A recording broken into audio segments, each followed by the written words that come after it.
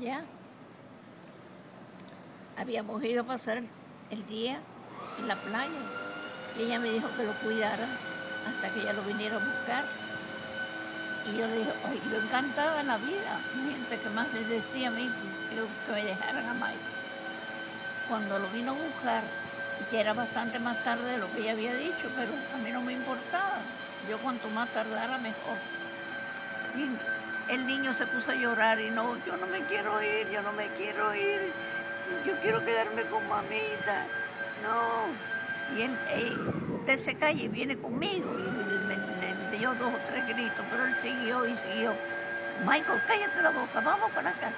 Y me cogió, lo cogió por el brazo y lo, casi no lo arrastró, pero lo llevaba forzado a la máquina unos, unos cuantos pasos.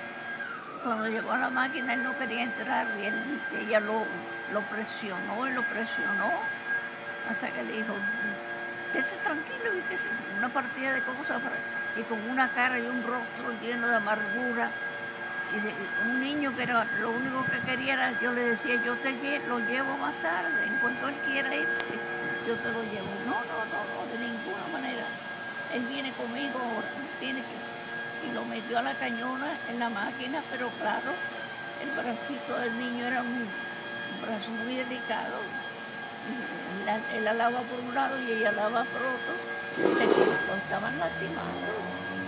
Y le decía, mami, que me duele, mami. Siguió, se lo llevó a la cañona. A mí no me dijo ni una palabra. Pero bueno, Dios lo vio.